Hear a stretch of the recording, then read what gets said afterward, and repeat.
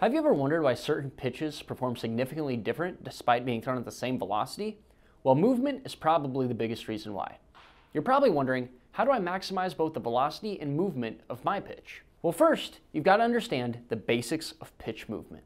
In this video, we're going to provide an introduction to movement and look at the types of spin involved in the pitch. This is going to just be a precursor to our pitch type series, so understand this is intended for a new audience. We'll also be sure to link some additional reading below for those who really want to get ahead up on their continued education. The most intuitive place to start when it comes to movement is going to be looking at spin rate.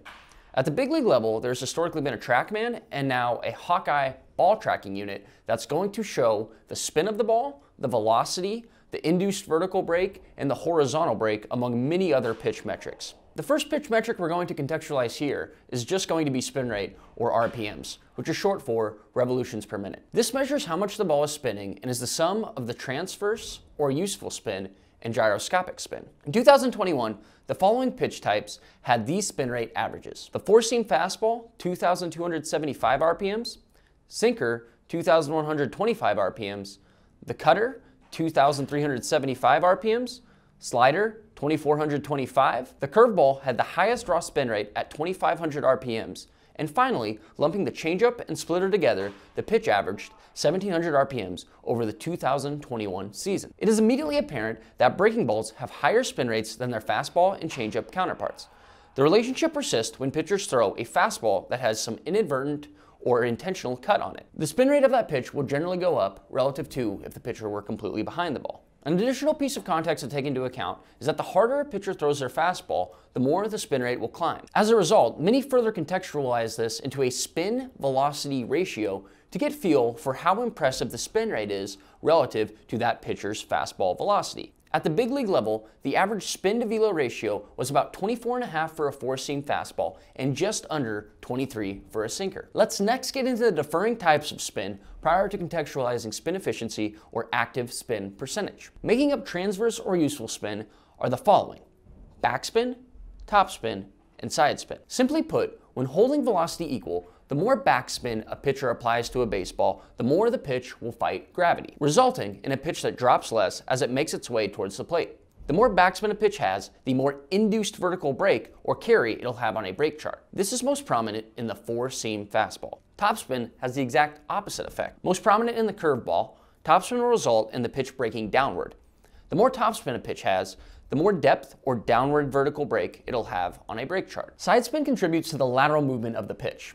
Obviously, this can go either in the arm side direction, such as a sinker or changeup, or to the glove side direction, most prominent in a sweeper and a lot of curveballs. From right-handed pitcher's perspective, a pitch with positive horizontal break will plot on the arm side or right of a break chart. A pitch with negative horizontal break will plot on the glove side or left of a break chart. Finally, we have gyrospin or bullet spin.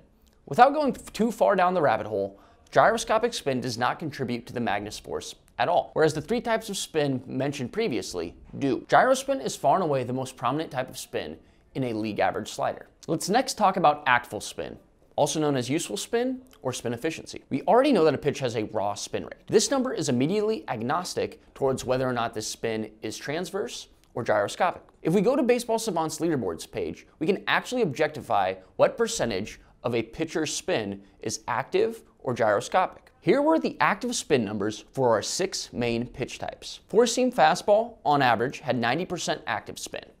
Sinker, 87% active spin. The cutter came in at 46%. The average slider had the lowest average active spin at 37%. The curveball led all breaking pitches by a good margin at 69%. Changeups had the highest active spin ratio at 92%. Splitters, on the other hand, had an active spin average of 80% across the league. If you've ever used a Rapsodo when pitching or developing a pitch, this number is going to show up as the spin efficiency. Unfortunately, there's no public data available on what proportion of the spin was backspin, side spin, or topspin.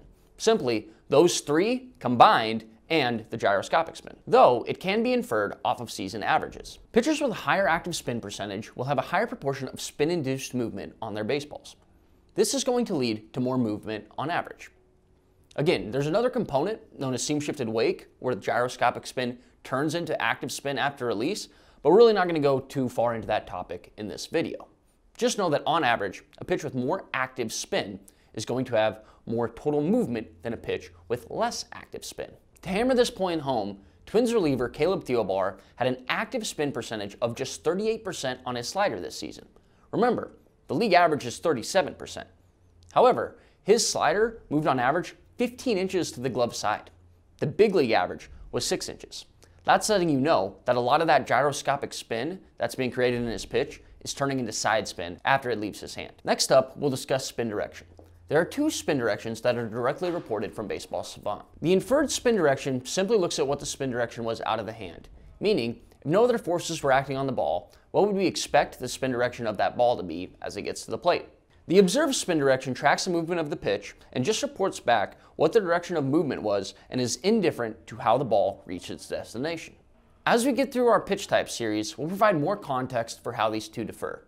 But for the context of this video, we're going to simply keep ourselves concerned with the observed spin direction. On a clock, a pitch with pure backspin will have a spin direction of 12 o'clock. Opposite of that top spin, a pitch that had pure top spin would have a spin direction of 6 o'clock. Side spin from a right-hander that went to the arm side and purely had just side spin would be at 3 o'clock. Pitches rarely hit these extreme spin directions and generally fall somewhere in the middle. For example, most four-seam fastballs come in at around 1245 to a 115 spin direction meaning they have a balance of backspin and side spin involved with the pitch. A pitch with a spin direction of 130 would have equal parts vertical and horizontal break. A 730 curveball would have equal parts downward vertical break and horizontal break, meaning top spin and side spin, hence the name slurve. Let's look at 2021 spin direction averages by pitch type. For fastballs, we can see that sinkers have a higher proportion of side spin on average, whereas the four-seamer is equipped with primarily backspin. What stands out with the changeup is that its spin direction is fairly close to that of the sinker. It's generally easier to create separation off of a four seam relative to a sinker. We'll break this down in more detail when we break down the changeup in a future video. Cutters on average have a higher proportion of backspin relative to side spin, as their spin direction of 1110 on average is closer to 12 o'clock than 9 o'clock though gyroscopic spin is still primarily the main spin involved in the offering. The average slider primarily has gyroscopic spin, but on average come fairly close to seeing their useful spin consist mostly of side spin. Again, the average curveball actually has very similar amounts of top spin and side spin. The average spin direction comes to around 715. We'll wrap things up with our final section, pitch movement. With our context of spin rate, active spin, and gyroscopic spin, we're ready to jump into what is ultimately the meat and potatoes of pitch quality, induced vertical break and horizontal break. To begin, these are short form movement values, which means it's agnostic towards gravity and other environmental factors such as drag or air resistance. The movement values are relative to a ball with no movement or spin. A pitch with 16 inches of vertical break doesn't actually move upward, but it does fight gravity better than a pitch with 13 inches of vertical break at the equivalent velocity. Human beings are currently not capable of throwing a pitch with enough velocity or movement to effectively get it to rise. But they are capable of getting hitters to swing underneath their fastballs by throwing pitches that effectively rise relative to the hitter's expectations. This calculation is taken from when the pitcher releases the ball and looks at the movement up until it crosses the plate. The biggest correlator towards creating total movement on a pitch, as we've already discussed, is looking at the total amount of transverse or useful spin on a pitch. Again, there's two ways to do this. Create a ton of raw spin, but probably more importantly, create a lot of transverse spin or be efficient with that spin. As an example, let's look at Luis Castillo's slider against Sonny Gray's. Here's what this would look like on a break chart.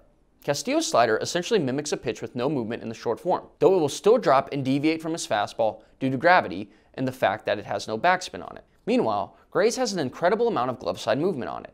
As a matter of fact, only Kyle Crick averaged more than 20 inches of horizontal break on his slider over the course of the entire 2021 season. As you progress with pitch movement, you'll note that pitches deviate so much in how they move that their liberal classifications of slider, curveball, and cutter simply don't provide the necessary context for what the pitch looks like. As we dig into the individual pitch series, we'll classify these pitches off their movement metrics rather than what the pitcher classifies it at. In this case, we'd consider Gray's slider a sweeper and Castillo's a gyro slider. Another thing to keep in mind is that you can basically read the spin direction off of a break chart as well.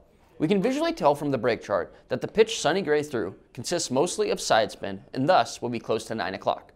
Let's take a look at league average pitch movement by pitch type for the 2021 season. The average right-handed four-seam fastball had 16.5 inches of vertical break and 7.5 inches of horizontal break. For sinkers, you can almost flip the horizontal and vertical averages from the four-seamer to get league average movement, though the pitch has a bit more lift on average at 9.5 inches.